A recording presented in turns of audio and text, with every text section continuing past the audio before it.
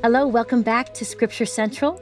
I'm Lynne Hilton Wilson, and this is John W. Welch with our Come Follow Me in 2nd Nephi, chapter 6, 7, 8, 9, 10. And it's a two day sermon by Jacob. Nephi has asked Jacob to record this huge section of space in his scripture. And as part of that, Nephi also asks Jacob to quote specifically some verses on Isaiah.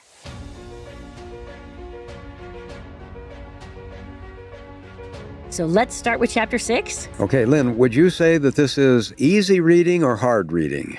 You know, uh, all of Second Nephi is for a mature spirit who is seeking to understand a deeper connection with our Savior as our Redeemer.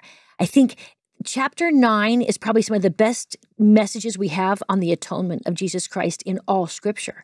So, this is some of my favorite reading, but it requires um, a little more than someone who's looking for a storyline and speed reading. And I think this material is about as dense as it gets in terms of profound doctrine, references to aspects of the plan of salvation, the covenants, the temple.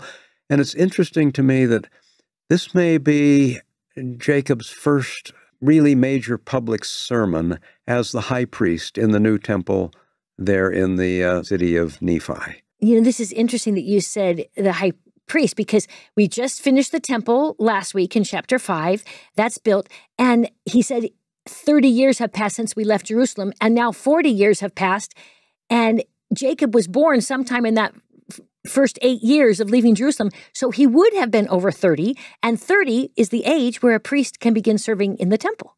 He's worked in the temple, but probably not as the high priest. I'm sure they're formalizing and adopting things. Uh, who has the right to build a temple? We talked about this a little bit last week, but starting in chapter 6, we learn that they had the right to build the temple, even though they weren't from Aaron, even though they're not from the Levitical tribe, because of the holy order Behold, my beloved brethren, which he repeats over and over. I love this as the beloved brethren sermon. I, Jacob, having been called of God and ordained after the manner of his holy order, and having been consecrated. Okay, I think he is set apart, he's sustained, and the holy order is what?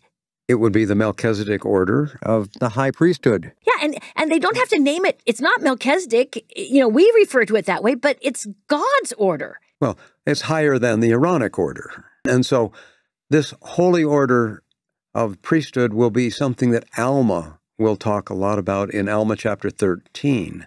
But this little phrase, it's not mentioned very often, as you point out. Holy order, we can kind of skip right over that. But it's important for Jacob now to be a full fledged high priest and running the temple according to all of its procedural and administrative and spiritual requirements.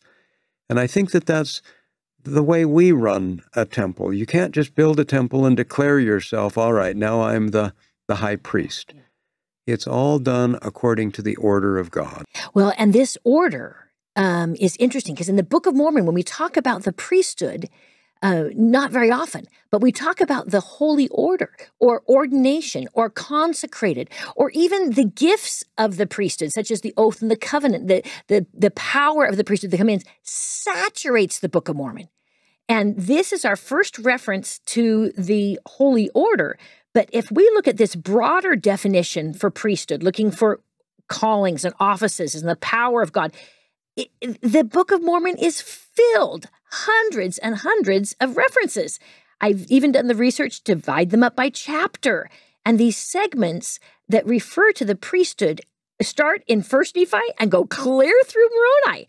And it is fascinating to see how many times they are calling on the power of God in the Book of Mormon. I think this is really important what you're saying because we kind of take priesthood as a given. But for Nephi to establish now the holy order of the priesthood that will be followed throughout the Book of Mormon sets a fundamental pattern which will, of course, be replicated and implemented by Joseph Smith in sections of the Doctrine and Covenants, like section 20, 20. and section 84, section 107, and we've got them, and others but we we don't take it upon ourselves to officiate in in these ordinances, as Hebrews says. No man take it upon himself, save he is called of God by prophecy and by the laying on of hands. But my research on the priesthood in the Book of Mormon is beyond those who are ordained in that call to include, as Joseph Smith did, the gifts of the Spirit and the blessings of the Spirit, because you cannot receive the gift of the Holy Ghost until you have these other blessings. And I see the power of godliness mm-hmm. under the umbrella of priesthood just from beginning to end in the Book of Mormon.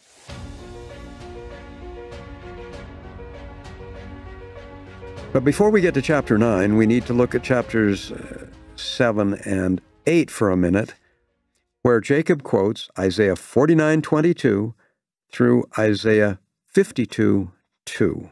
I'm fascinated that so many of these verses from Isaiah that he quotes are actually um, referring to our Messiah as the Redeemer, as the anointed one. Jacob would have been especially attracted to, and maybe Nephi asked him to read these because you have the only time in the Book of Mormon that Jesus is called the mighty one of Jacob. And I think Jacob must have loved that. Yeah. That the Redeemer, Jesus Christ, is the mighty one of Jacob. And how reassuring that would be to have a personal connection there. Also, I think we have in these chapters, in chapter 6, verse 17, the promise that God would protect his people. The mighty God shall deliver his covenant people. And I think how fragile this little society, this little group of followers of Nephi must have felt. And to know that they're right off the bat, that they have the promise that God will protect them. In 2 Nephi chapter 6, Jacob describes that he's had a vision and he points out different things in this vision. And one of them is that of Jesus' death. And verse 8 and 9 and 10 all talk about the crucifixion and he's going to be smitten and then the people are scattered after that. And then he goes on in chapter 7 to quote the Isaiah chapters that describe the same thing. And as we look at 7, verse 6, you'll recognize this, I think, Jack, from Handel's Messiah. Mm-hmm. I gave my back to the smiter, and to my cheeks to them that plucketh out the hair. I hid not my face from shame and spitting. But the Lord God will help me, therefore I will not be confounded. You know, he he had this vision himself that he describes in chapter 6 and now he giving a witness of it from Isaiah the same thing a second witness again being described I can just see Jacob striving to add another voice to his on this message. We have got to prepare for this day. But remember too that Nephi has suggested that Nephi, that Jacob should read these chapters. Yes, he did. That's why he's saying them in his talk. I wonder if Jacob hadn't already been discussing with Nephi some of these things, Nephi could have said, Jacob, what you have seen goes beyond what I mentioned back in my vision in First, First Nephi. Nephi chapter 11. But it was clear that to me that something would happen to the Savior, and now you're seeing this, and it was spelled out in Isaiah Maybe Nephi and Jacob had been doing some scripture study together and ran across this and now understand it better. better. And that will then lead to even further information that Jacob will get during the night between these two days of his speech. Yeah, he is a visionary man, and he has visions that are reported in chapter six and visions that are reported in chapter nine and ten. I I am really touched by the idea, though, that these visions probably came from the scripture study. And those two verses in Isaiah 50 are so remote and obscure that the people in the time of the New Testament didn't even realize that they were the Messiah. And yet Jacob did, and the Lord expanded it for him. I hope the Lord expands our scripture study. Exactly. Yeah, yeah.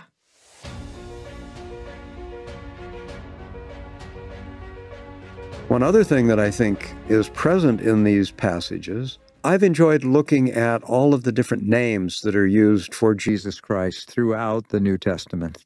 There are a lot of them, but there are some that are unique to Jacob. And he, as a priest, you might understand why he uses some of these. A unique name that Jacob uses is Jesus is the mighty God. He likes the fact that, that Jesus is God, for one thing, but he is mighty. He then talks about three ways in which God uses this might. He calls him at one point the Maker and also the Great Creator. Those are the ones that are unique to Jacob. And when you think of what the temple is based on, it's a model of the creation and how we go through the steps of creation and the fall. And so, if Jacob is giving this sermon at the temple and as a newly called priest, and he will then call the Lord by this name, giving primacy to his role as the creator the one who comes and creates this earth.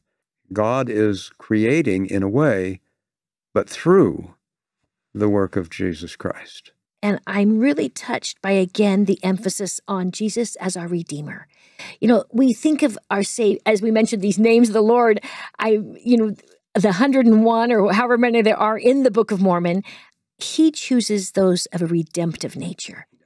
And it's it to me this is the whole point of the sacrament. It's not yes, he's a good shepherd. Yes, he's the kind way. Yes, he is the living water. But his redemptive nature is the message of the sacrament. It's the message of the atonement. And he's leading up to the greatest part of the sermon, which is will be the atonement. But even in chapter 8, when he's quoting Isaiah, he's quoting the redemptive verses. Look at verse 11, chapter 8. Therefore, the redeemed of the Lord shall return and come with singing to Zion and everlasting joy. You know, Jack, when I have fallen on my knees in repentance and have felt forgiveness from the Lord, have felt redeemed, that's how I feel. I feel this way. And you felt joy. And what else does he say? And holiness. And holiness. Again, Jacob is so interested in the holy, becoming holy, becoming pure, to feel the joy is, is of course, a wonderful, exhilarating thing, but to feel the holiness, to feel that you're clean and that you're worthy. And that's the whole idea of the temple. It is the altar, the, the great and last sacrifice will be taken our sins, and we then can be cleansed. And when when we experience this, carry on with verse 11 that joy and holiness shall be upon their heads and they shall obtain gladness and joy, sorrow and mourning shall flee away.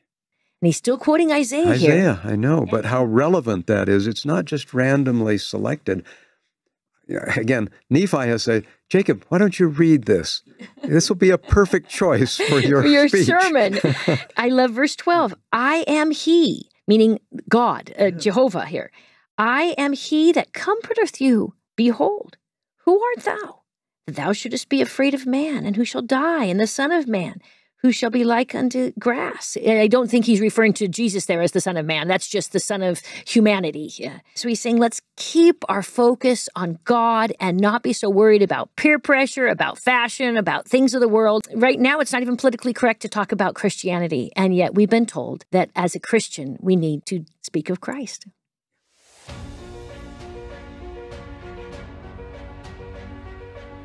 Chapter 9, verse 1 begins with the overview. Now, behold, my beloved brethren, I have read these things. Why has he read these Isaiah passages?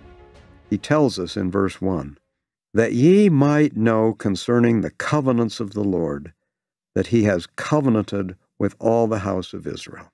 And he goes not just through the time of the Savior's life and death, but in verse 2 he says, and that they shall be restored to the true church and fold of God, that they shall be gathered home to the lands. Because I think in their memory, Israel has just been destroyed by the Assyrians a hundred years before and by the Babylonians, Babylonians coming up soon. Right now, well, it's already happened. It, they happened know that, before. But...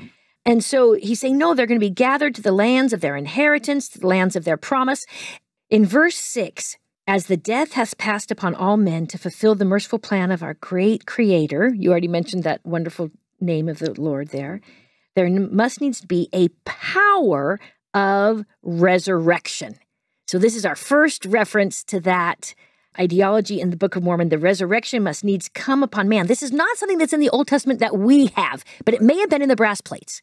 But he certainly learned it from an angel or someplace because he talks about the resurrection quite a bit. He says it must needs come unto man by reason of the fall. And the fall came by reason of transgression, because man became fallen. They were cut off from the presence of the Lord. This is why we need, in verse 7, an infinite atonement. And it has to be an infinite atonement, which is can avoid this corruption, this problem that happens as we become entangled with sin and our bodies are going to grow old and our spirit and our body uh, are connected. And so our sins even affect our bodies sometimes. And this is the first time I think that the phrase infinite atonement is yes. used in the Book of Mormon. Yes. Now, it will be used, especially by Alma, later on. But it's not a limited atonement, which the Calvinists thought in the 19th century. This is an atonement for everyone. And it's not the kind of atonement that was being performed in the Temple of Solomon, the ancient Israelite Which temple. had to be repeated over and over. Every, every year you had to come back and do the Day of Atonement again. This would be an eternal atonement that will be done once and for all. And why does it have to be eternal? Well, it has to be eternal, verse 7 says. Save it should be an infinite atonement, this corruption could not put on incorruption. What Jacob now is introducing is the idea that this atonement will be an infinite atonement, yes. and it can be infinite in an infinite number of ways. Amazing. And what it will prevent, among other things, during this life or whenever, is the natural inclination for all things to degenerate, physical matter, that there is a principle that all things that are material tend to become disorderly, to tend toward chaos. If it weren't for some power holding physical matter together, keeping it from entropy, we would be degenerating all the time. But the atonement holds us together. Now, not just physically, but also spiritually. And, and so the power of the atonement is infinite in its reach and time. It's not just something that's going to apply later when we're resurrected, it's operating right now. And in fact, Jacob, as he's talking about this, we're not going to lay down and rot and crumble to Mother Earth. He, he's so excited Oh, the wisdom of God, His mercy, His grace. I mean, I could just see Jacob pleading with them to understand how wonderful this gift is. Do we comprehend it? For behold, the flesh should rise no more, our spirits. And anyway, he talks then about the devil and our spiritual falling again, and the first parents being beguiled is in verse 9. But in verse 10, oh, how great the goodness of our God and I know you're going to say something, Jack, because I just read two O's in a row without you commenting yet. Verse 8 and 10 are our first two, though, right? In this section, there, there are six O's. Oh, the wisdom, that's verse 8. Oh, how great the goodness, verse 10. Oh, how great the plan, which is our plan of salvation. Salvation, that we refer 13. to it as. And then fourth, verse 17. Oh, the greatness and the justice of our God. And then in verse 19, oh, the greatness of the mercy of our God. And finally, verse 20, oh, oh how, how great, great the holiness of our God. So you can see those progressions. After praising God for his great goodness and mercy and all that he has done to save all men, and notice in verses 20, 21, he knoweth all things, saves all men, suffereth the pains of all men. So we have in this first section the six O's, and now we have the six alls that are kind of clustered there. Oh, all the suffering pains. All he is a master writer. He's careful with his composition. There's no question about that. After all the times where he says suffered for all men and all the family of Adam, um, he says in verse 26 for the atonement satisfieth the demands of justice upon all those who have not the law given unto them, that they are delivered from the awful monster of death and hell. So even if you didn't know of the Bible or you have never even heard right. of the man named Jesus, those who did not have the law will still be delivered. I mean, this is the most gracious. The restoration completely opens the door to heaven more than any other faith tradition I've ever studied. And I think as Latter day Saints, we recognize this that if you're not accountable, like if for whatever reason, some inability, children who die who are not accountable, they are delivered because his justice comes upon all who have not the law given to them.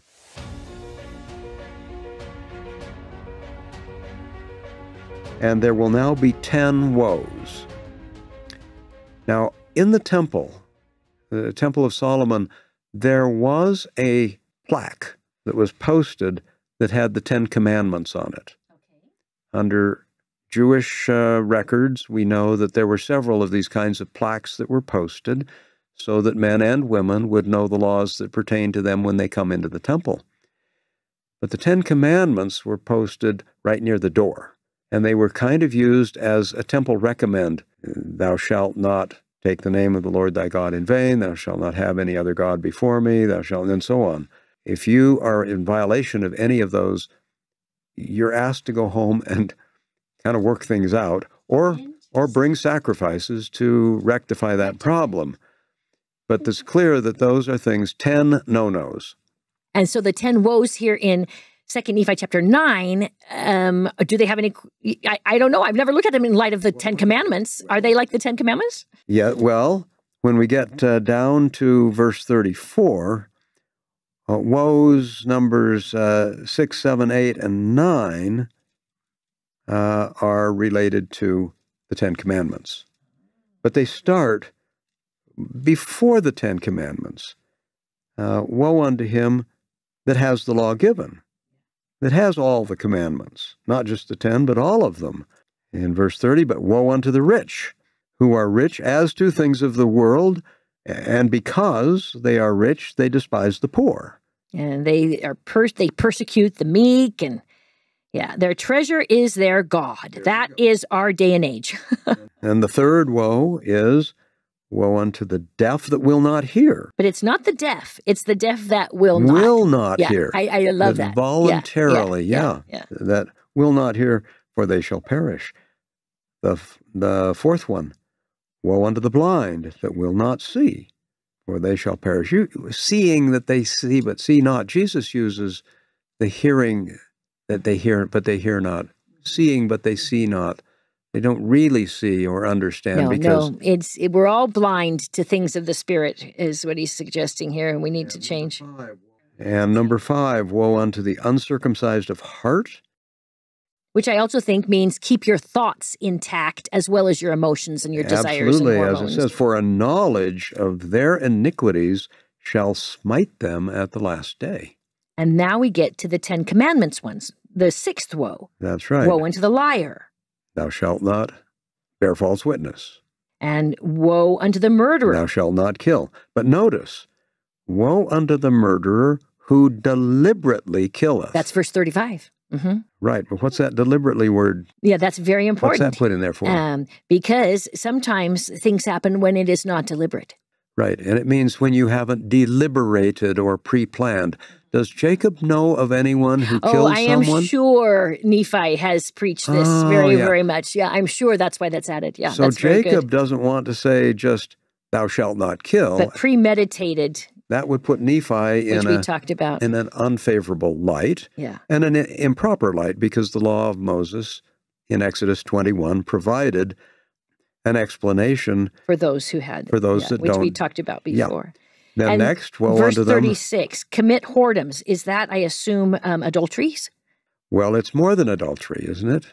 Uh, adultery under the law of Moses was a married man and a married woman. Okay, and whoredoms is any infraction of the law of chastity?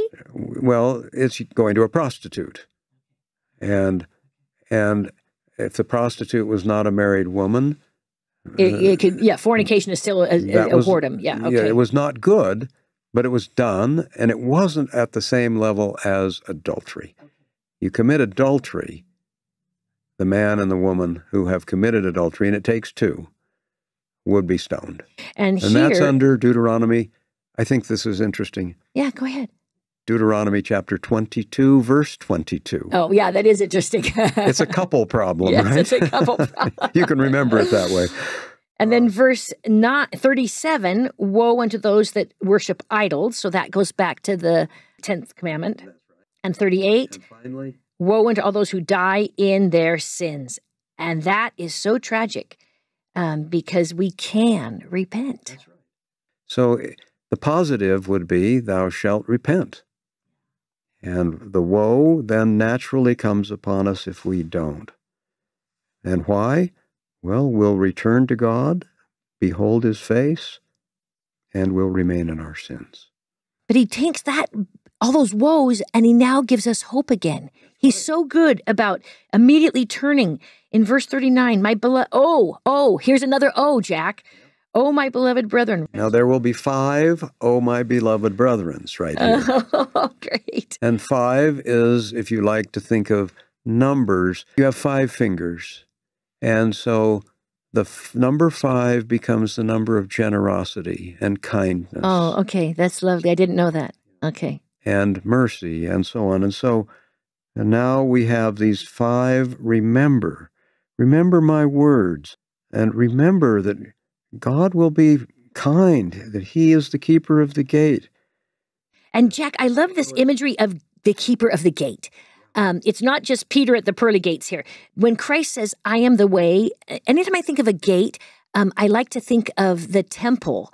Um, this separation between the holy of holies and the holy place. You know, this this veil that in Solomon's temple was made out of wood, like a gate. But when Christ says, "I am the gate, and I am the way, and I am the path," you know, all of these fit into this. The way that we return back to the presence of the Lord, that we can partake of the tree of life without our sins, is by going to the keeper of the gate.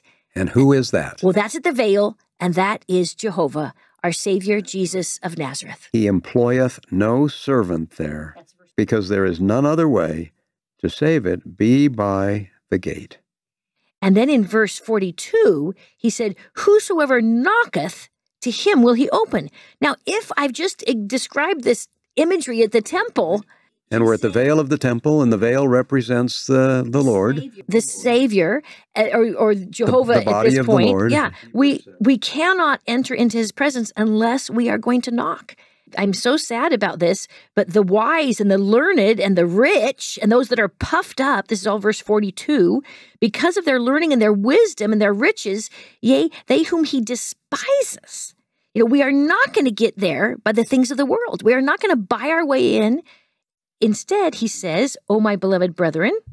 And I like to imagine him actually taking off his garment when he says, Remember my words. Behold, I take off my garment, my outer cloak here, and I shake them before you. And I pray to God. Jack, what is he talking about here? What's this taking off?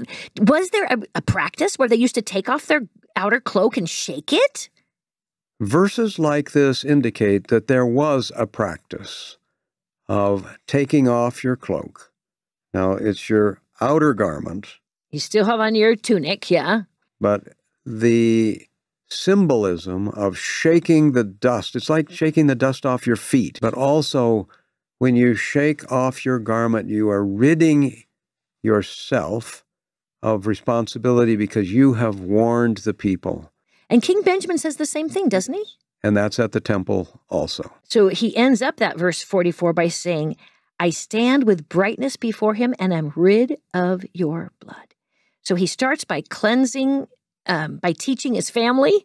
And now at the temple, um, he talks another O in verse 45. 45. So, O my beloved brethren, turn away from your sins, and you should shake off the chains of him that would bind you fast. Come unto him who is the rock of your salvation. We do not have to remain in the cage from servitude to Satan if we can repent, which we can. We can. We can. And O thou rock of our salvation, mm-hmm. it's right out of the Psalms again. Temple Psalm. He knew his scripture. And in verse 46, he goes back to that idea of remembering that you mentioned so many times before. Remember your awful guilt in perfectness and be constrained to exclaim, Holy, holy are thy judgments, O Lord God Almighty. But I know my guilt. I, I think this is so important to see these great leaders saying there is a constant need for repentance and turning to our Savior for that cleansing. I really like in this section where there are so many references encouraging us to remember, remember, remember. You can count how many there are, there are quite a few. But when we listen carefully to the sacrament prayers, uh, we first and foremost covenant that we will remember Christ always. And if we remember him, of course, that means more than just a flashing thought. Yeah, or intellectually remembering that he was there. But to remember also means to obey. In Hebrew, the, the word for remember means more than just think about it, also do it. Yeah. If you're really going to remember, you will change your behavior because he has suffered for you and he has called you. And we want to be with him, we want to obey him. And so, chapter 9, this beautiful first um, day of his sermon ends by him saying in verse 54 And now, my brethren, I would speak unto you more, but on the morrow I will declare unto you the remainder of my words. Amen. So he's had a long day of sharing their words. And in the ancient world, I know sermons would go from far more than two or three or four hours. And um, everyone goes home. And the next day is our last chapter in today's Come Follow Me, chapter 10, Jacob's second sermon.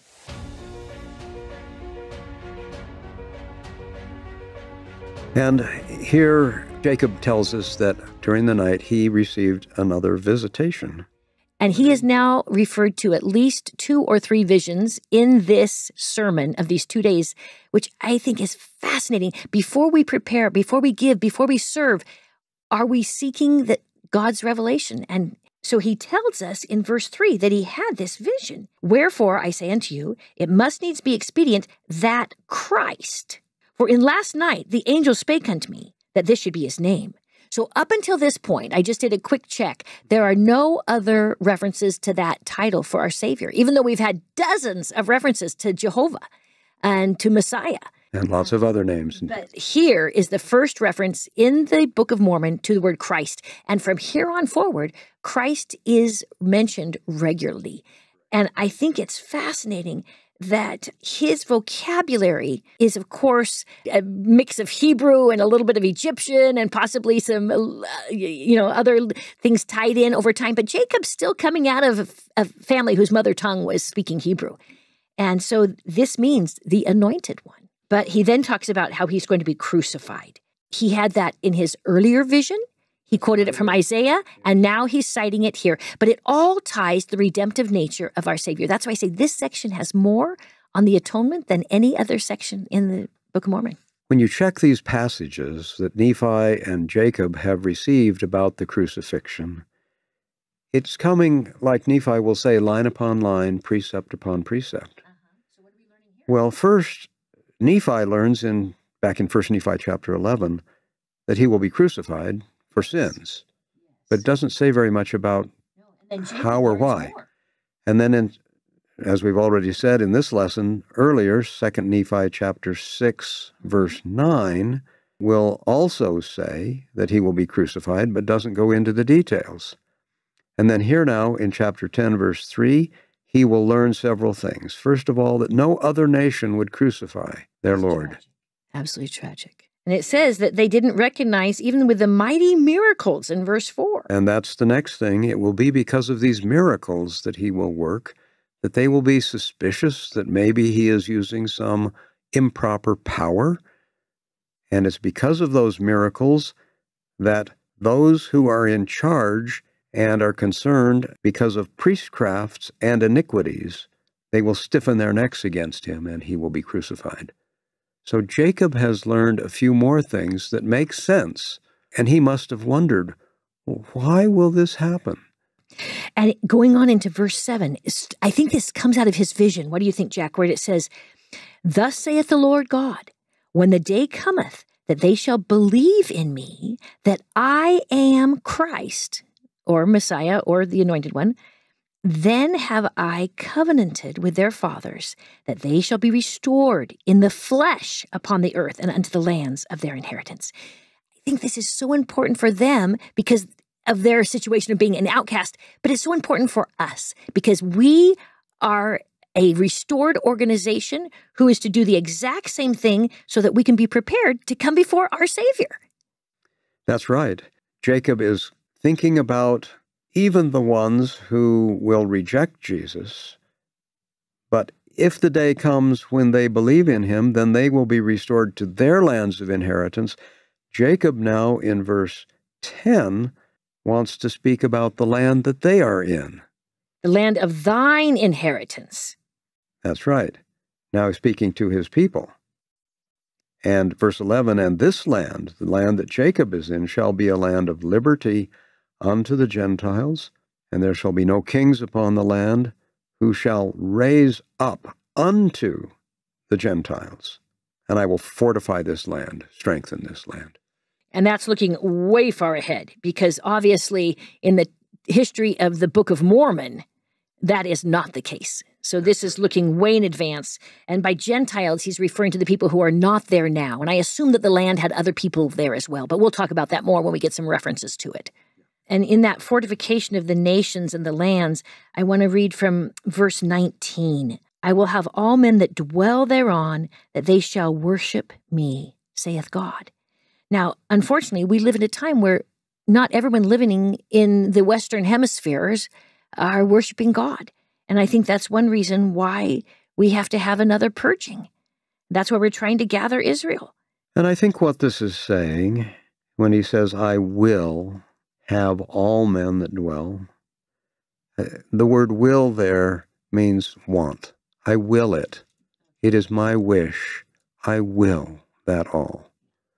Uh, I think that this open door where God will consecrate the land forever for Jacob's seed, so it will be a land for their inheritance, and it's a choice land because not only them, but all who will worship the Lord will be blessed in this land as well. Moving ahead to verse 23, therefore cheer up your hearts. So we should be happy, is that right? Well, this is so fascinating to me because usually I've looked at every single time this is used in scripture. Cheer up or, or be of good cheer is used in devastating, horrific times. You're in prison, you're drowning, you're the Lord has just announced his death. You know, he's saying we can always find hope and trust in our Savior. And remember, in addition to being cheerful, yeah. be positive about things, and then remember that ye are free to act for yourselves. This is why you can cheer up. It's because you have mental and emotional capabilities to, to think, to control your mind. And then the next few words, where does Jacob get these words from? To choose the way of everlasting death or the way of eternal life. Who has said that before? Lehi? Lehi. He's remembering back to the blessing. Whose blessing? His. His own, exactly. This is where Lehi blessed, and we read that, talked about that a few uh, weeks ago. Yeah. Jacob remembered that blessing. Well, they probably could have read it if they, if Nephi was able to write it down. I presume it was also recorded by others too. Oh, and I'm sure Jacob memorized that. They were so phenomenal at memorization. And this would have been his personal blessing. It must have been a, a guidepost. You know, it must have been a, you know, a, a light to his path throughout his life. And he ends this beautiful sermon back on the topic of the resurrection. Verse 25 Wherefore may God raise you up from dead by the power of the resurrection, and also from everlasting death and the power of the atonement. He this is the best chapter in the whole Book of Mormon on the atonement. It's just set, and no one else understands it like Jacob explains it to us. But this then became the foundation of our understanding of the restoration because of this great sermon by our dear new priest, Jacob.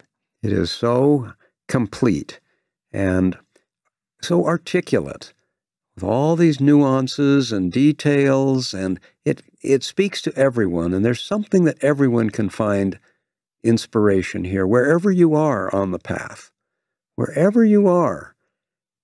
Find a word or a phrase. You can ponder these things, and Jacob will be a light to you. And he will then help you to reconcile yourselves to the will of God and not to the will of the devil. Again, there is so much hope in coming to our Savior. That's the choice. And his arms are outstretched for us all. In the name of Jesus Christ, amen.